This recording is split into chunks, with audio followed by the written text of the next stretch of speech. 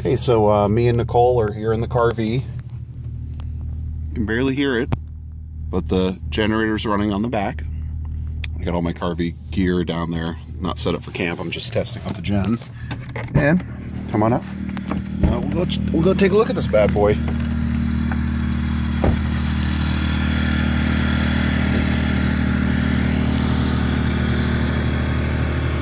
You can hear it running but it's very quiet. It's a sound, but it's like nothing major. It's not some sound that someone would think, oh man, they're doing something wrong. What do you think, babe? It's good, right? All right, now we're gonna open it up and I'll show you how I, how I designed it, this new setup.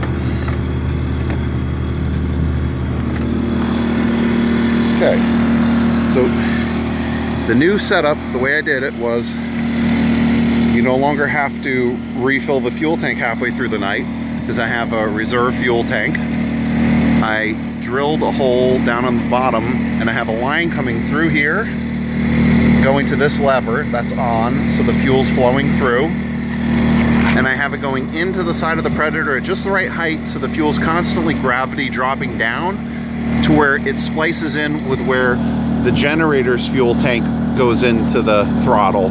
So they both meet up and then go into the throttle together. So it's equally sucking off of each fuel tank. This one, 1.3 gallons, and then this one, one gallon. Giving me 2.3 gallons and enough for the whole night. Now I completely gutted the generator box and instead of using wood and slots, all I have is the air coming up here, completely opened up the fan fan's on high. And then that fan on high, I just put it in with great stuff. Everything's great stuff. I just put it in with great stuff. It blows the air through here. It goes around this side of the generator, above the generator, and on the side of it. And then it comes out, the exhaust here, and a huge opening at the bottom. And since that fan's blowing, there's plenty of air to blow it all through. And that kind of curve this to kind of curve it down towards the bottom. You can see up here, the generator comes air exhaust comes through these bars at the bottom. So no one can steal it. Even if they broke the lock, then they got this lock to deal with. The lock isn't in the way of the exhaust fumes and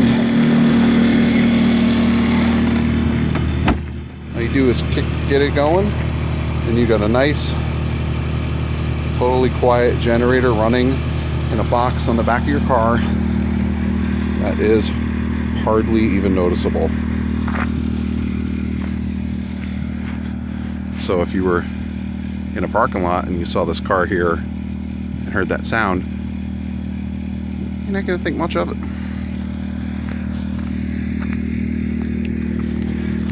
That's a generator box built by Adam and Nicole.